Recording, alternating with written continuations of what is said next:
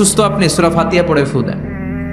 বিশ্বনবী রাতের বেলায় বিছানায় যাওয়ার আগে সকাল সন্ধ্যা তিন কুল পরে হাতে ফু দিতেন। এরকম দুই হাতটা একসাথে করে এখানে ফু দিয়ে মাথা থেকে শুরু করে মেসেজ করতেন পা পর্যন্ত দেহের যতটুকু জায়গায় যায়।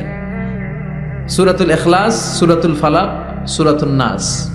এই তিনটা সুরাকে একসাথে বলে কুল আসা মানে তিন কুল। এই যে পিসাব হুজুরের কাছে যে আসেন ফু দেওয়ার জন্য যে হুজুর ফু দেন। হুজুর কি পইরা ফু দেয় জানেন? আজকে গোমর ফাঁস করে দিয়ে যায় হুজুরের। সুরাতুল ফাতিয়া পড়ে ফু দেয়। হুজুরের কাছেও আইসেন, আপনারাও ফু দিয়েন।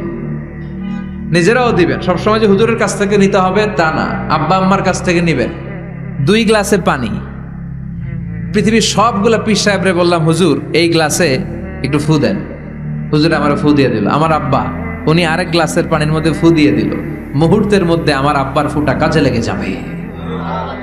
গোটা পৃথিবীর পীর সাহেব একদিকে, বাবা মার দোয়া আর ফু আরেকদিকে ঠিক